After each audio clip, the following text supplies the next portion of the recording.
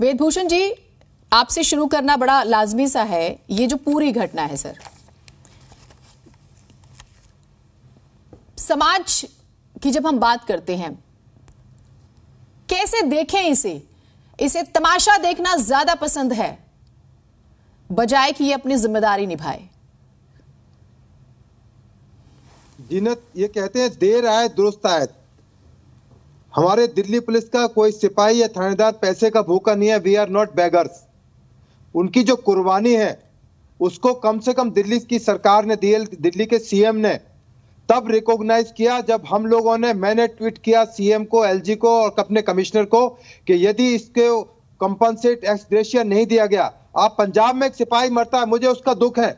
मेरा साथी था, पुलिस का खाकी वर्दी वाला था, फगवाड़ा में मरता, आप अगले दिन दो करोड़ रुपए की एक्सग्रेशिया आप डिक्लेयर कर देते हैं सीएम मान साहब, यहाँ पर चार तारीख को इतना ग्रूसम होता है, तमाम मीडिया उसको दिखा रहा है बार बार उसके बावजूद भी उस पर कोग्निजेंस लिया जा रहा है। ये बड़े दुख की बात है। ठीक है, अब हम सेटिस्फाइड हैं कि कम से कम मेरे ट्विटर के बाद में, मेरी कहने के बाद कि हम धरने पर बैठेंगे, यदि उसको न्याय नहीं मिला तो कम से कम दिल्ली सरकार ने अपनी आँखें खोली और आज सुबह उनके ट्विटर हैंडल से ये मैसेज आया कि हमने एक करोड़ रुपए उनको दे दिए हम उनका धन्यवाद करते हैं, कम से कम उन्होंने जो उसकी कुर्बानी, शहादत को रिकॉग्नाइज किया। अब आते हैं जो समाज की स्थिति है। समा इस, इस दिल्ली के अंदर बहुत सारे शहीद ऐसे हुए रतनलाल, आपको याद होगा, दंगों के अंदर मारे गए थे, किस तरह से उनको लोगों ने किस तरह से अपने कंधे पर उठा के रखा था। बहुत से अनगिनत रीजन, दिल्ली ने पूरे हिंदुस्तान में पुलिस की जो कुर्बानियाँ हैं, पुलिस की जो शहादत है, पब्लिक ने भी रिकॉग्नाइज किया है और उनको माना है कि हाँ पुलिस ने शहादत दी है। परंतु जो पब्लिक का जो एक रुझान, जो आप जिसकी बात कर रही थी, मैं अप्रिशिएट करता हूँ, कम से कम आपने इस चीज़ को माना कि समाज के अंदर वो फीलिंग भावनाएँ या किसी को मदद करने की नहीं है। समाज इन सब चीज़ों से दूर होता जा रहा है। आपने बुराड़ी का एग्ज़ाम्पल दिया, आपने कल ये जो इंसिडेंट हुआ चार तारीख को दिल्ली में, इसका इंसिडेंट दिया। आपकी वीडियो दिखा रही है, आपकी टीवी पर वीडियो चल रही है, किस तरह से लोग तमाशबीन है, ये तो वहाँ एक सीसीटीवी कैमरा लगा हुआ था, उसमें सारी वारदात रिकॉर्ड हो गई। और इस एस आई की आप देखिए बोल्डनेस देखिए, कि लेडी ने केवल उसको कोई काल नहीं थी कुछ ना कोई लिखा पड़े नहीं की। मैं आपको एफआईआर की कॉपी दिखा देता हूँ, चार नंबर ये एफआईआर है, जो मायापुरी थाने में दर्ज हुई है।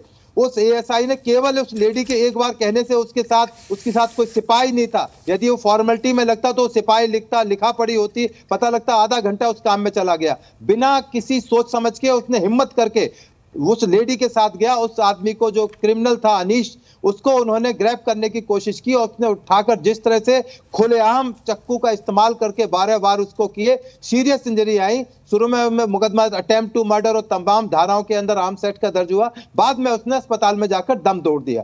तो समाज की जो एपैथी है, समाज का जो बेरुखीपन है, ना केवल पुलिस के लिए, अपने साथियों के लिए अभी आपने कंजाबला में पुलिस को बड़े लोगों ने गलत सलत ये बताया परंतु कुछ जो लोग इसके विटनेस थे जो चाहे निधि थी चाहे और विटनेस थे उनका उन्होंने ठीक है पीसीआर को कॉल की एक विटनेस दैया ने। नहीं, नहीं, सर, सर उस, उस प्रकरण में सुनिए देखिए सर न्याय तो सबका हक बनता है। उस प्रकरण में पुलिस की लापरवाही अट्ठारह हज़ार पुलिस वाले उस रात तैनात थे आपको पता है?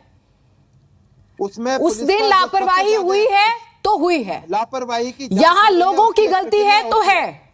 वहाँ पर जाँच की प्रक्रिया है ना? जाँच चल रही है इसीलिए तो हमें हाँ। के अंदर बयालीस दिन बाद पुलिस वालों के ऊपर कोर्सिव एक्शन हुआ था। बयालीस दिन लगे थे निर्भया केस के अंदर जिसमें पूरा हिंदुस्तान में आग लग गई थी। आप थोड़ा इंतज़ार करें इसमें भी यदि पुलिस वालों की गलती नज़र आ रही है उसके लिए शालिनी सिंह आईपीएस है स्पेशल सीपी वो उसमें जाँच कर रही है। आपको थोड़ा धैर्य रखना चाहिए क्योंकि हमारे अदालत आप एक चीज़ मैं एक चीज़ मैं क्लियर करती हूँ निकालती रहेगी तो शायद ठीक है ठीक है।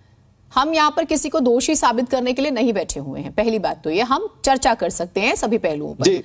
उस प्रकरण में जो हुआ है वो भी जायज़ बातें रखी जाएँगी और यहाँ जो हुआ है वो भी जायज़ बातें रखी जाएँगी। मूल ये है।